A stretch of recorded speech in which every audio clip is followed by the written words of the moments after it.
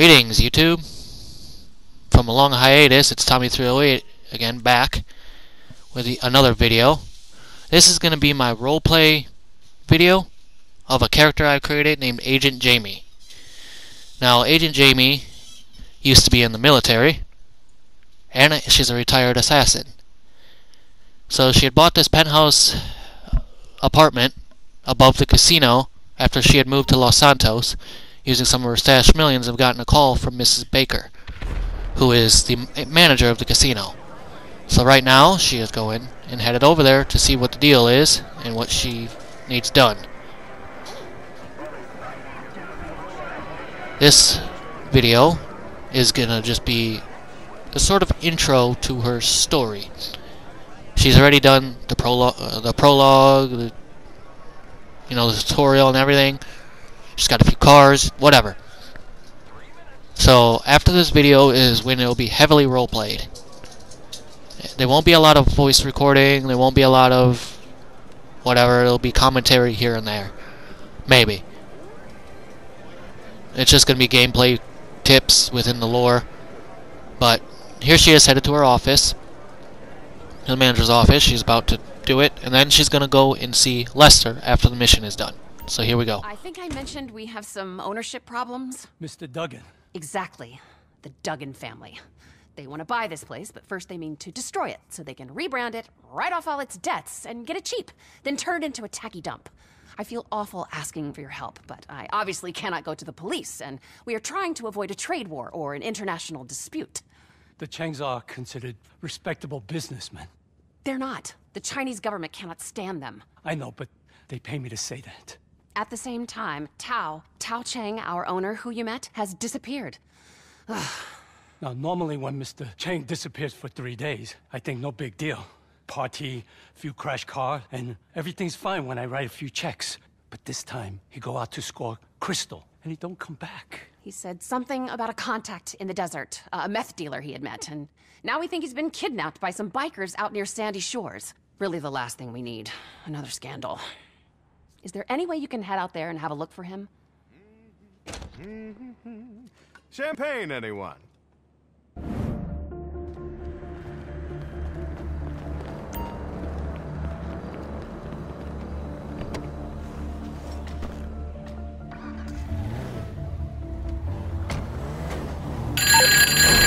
Okay, we think Mr. Cheng is at an old abandoned motel in Sandy Shores, and hopefully alive, too. It's still not clear if this is a kidnapping or an extended after-party. It's probably a bit of both. But we need him back here at the casino as soon as possible. The Duggans have stepped up their takeover attempt, and we need our owner here to keep things calm. No matter how wired he might be. I don't think the Duggans are behind the kidnapping itself. They're major investors in a private military company, so if they wanted Tao taken, they have plenty of big men with guns to do it. No, these are just regular old meth-dealing bikers. Who are not going to like seeing you show up to spoil the fun. Please, just find Tao and bring him back here.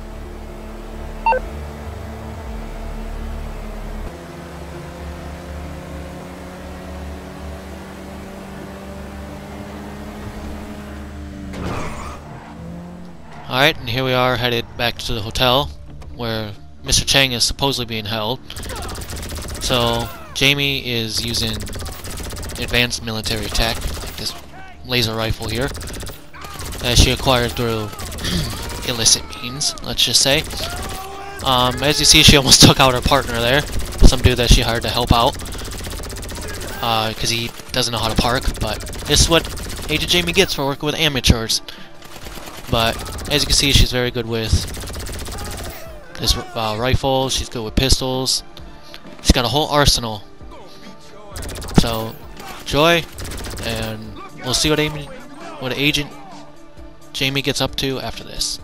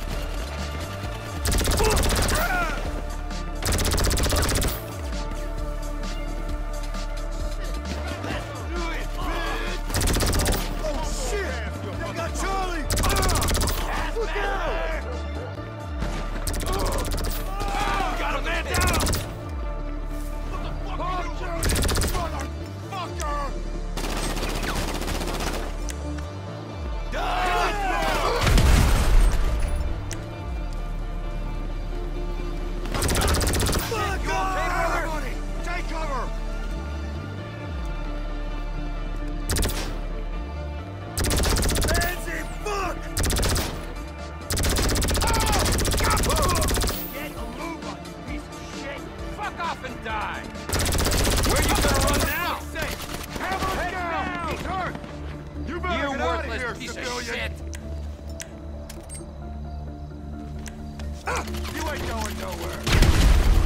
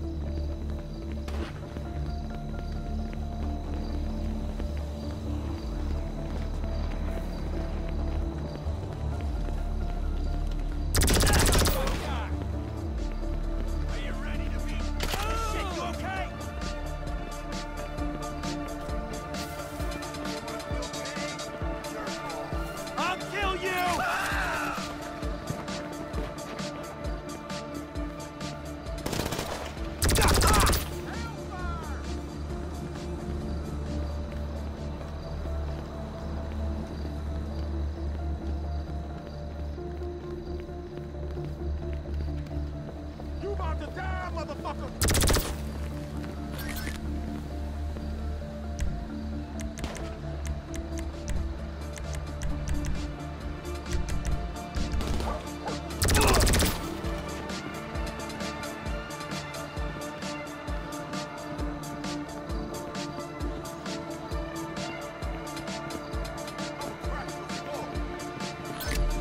This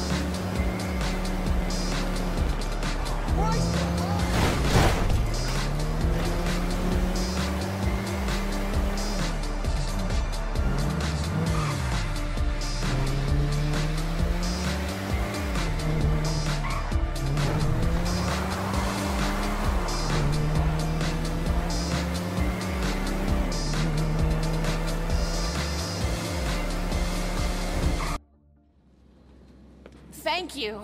I'm.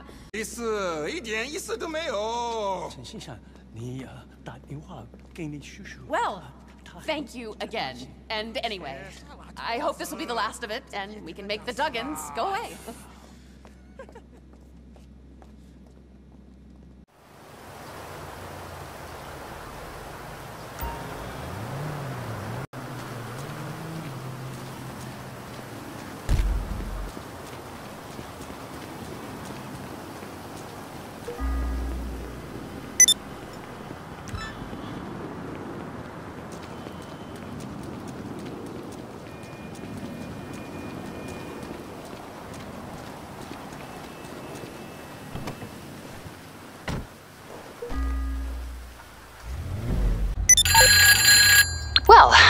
All grateful for the safe return of Mr. Cheng.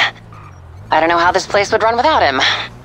Anyway, it's good to see you doing your part to keep this ship from sinking. We'll speak soon, I'm sure. Alright, so after that, now we're headed to go see Lester. Um, that awkward cut there was a freaking. The dumbass put a bomb on my car, so.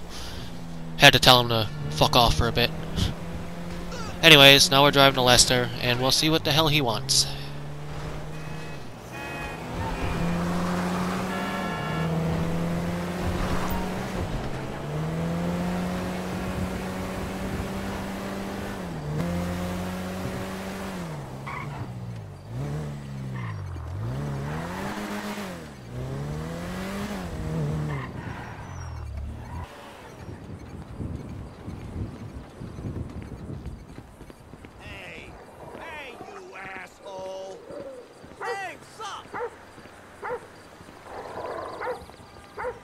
Was wondering when you'd show up.